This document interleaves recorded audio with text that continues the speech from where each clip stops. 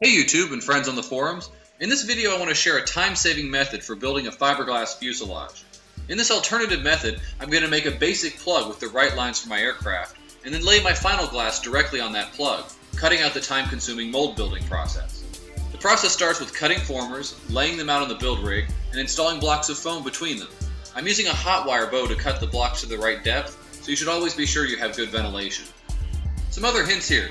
Cut your foam slightly oversized. It's always easier to remove material than to add it. Your best bet is to use an adhesive that sands well, and if you're using an expanding glue like Gorilla Glue, be sure to clamp your parts together so they don't shift. Keeping Gorilla Glue away from the edges of the formers will also help during shaping. Onto the rough shaping. This part is pretty straightforward. First, make sure you're wearing breathing and eye protection.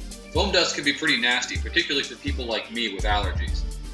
Using simple hand tools, you're going to shape the foam blocks to the plywood formers.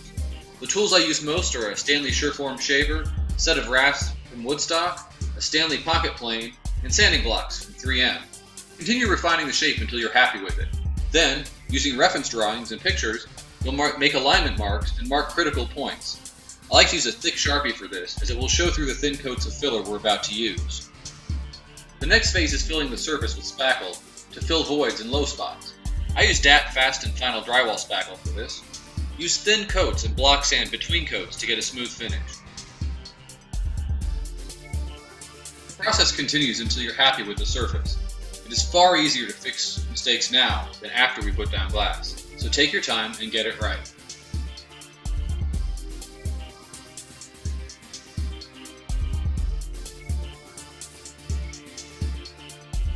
Now that I'm happy with the fuselage, it's time to finish it with a coat of light fiberglass. Although the weight of the fuse here doesn't matter, I prefer to use a lightweight glass so that finishing goes faster.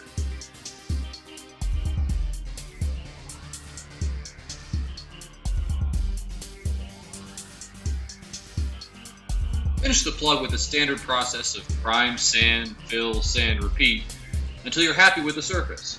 Tiny imperfections are okay as they will only show on the inside of the fuselage, but the better the plug, the better the finished product will be. Next we prepare to lay up our first airworthy fuselage. Make sure the plug is clean and apply several coats of mold release wax. I'm using a wax from Meguiar's, but there are many options. When you're happy with the surface, apply a coat of PVA mold release and let it set up fully. Now we lay up the glass that will make up our final fuselage. To do this, I'm laying up four layers of 2 and 3 quarter ounce glass, alternating the direction of the weave with each layer. The final layer is a half ounce glass, giving me a good surface for finishing. You can adjust the layers of glass based on the size of the model you're building. For this quarter scale biplane, these five layers work very well.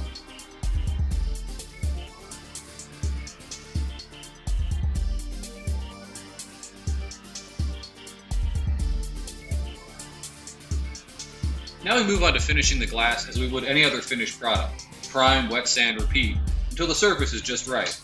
While the fuselage is still on the plug, I lay up my panel lines with Chartpak tape and shoot the additional primer needed to set the lines.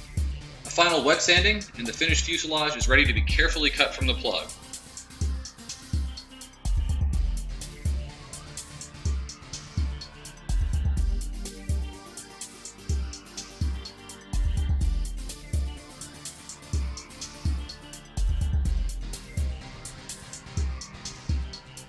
The finished fuselage is now ready for internals and paint. It is strong and will require minimal formers for reinforcement. It is also very lightweight for an aircraft this size.